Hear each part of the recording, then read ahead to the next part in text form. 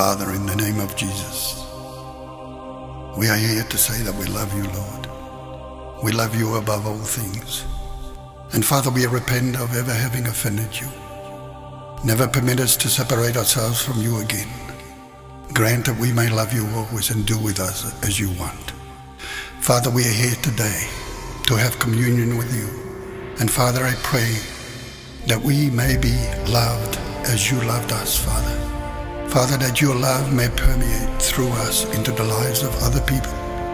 And Father, I pray for sickness and disease to leave the bodies of those that are listening right now.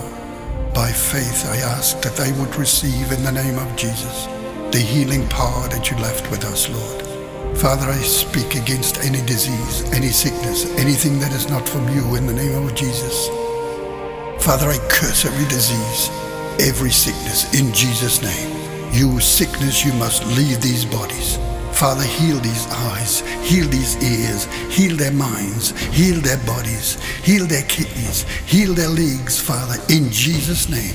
Germs that are causing this disease and sickness, we command it in the name of Jesus to be healed. Father, set the people free today.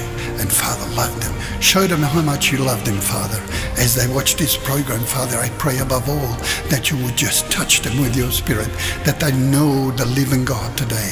Father, that they may experience the love of the Lord Jesus Christ as children of the living God. Father, you died for the sin of all of mankind. And today we pray that that sin may be taken away and that your life will have more meaning to our life, that we would come into the kingdom of God, that we may receive freely from you. Father, whatever you have for us, Father, and to release us in the potential and for the purposes for which you have created us in the first place. So, Father, we receive you right now. We receive your healing. We receive Jesus Christ as our personal Lord and Savior. And Father, allow us to be a part of your life. Allow us to minister to those that are suffering today. We ask all that in the name of our Lord Jesus Christ. Amen.